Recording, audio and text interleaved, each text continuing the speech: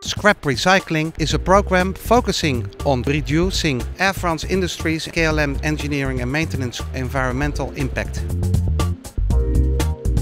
During our maintenance process, we collect all the metal scrap components. We send them to our scrap plaza where they are sent to recycling centers, remelted and sent back in the process of making aircraft parts also in the maintenance process. Because of the trolleys in the cabin, we replace the carpet every five to six months, put them in bins, recover raw material and together with carpet manufacturer, we recycle 80% of the carpet.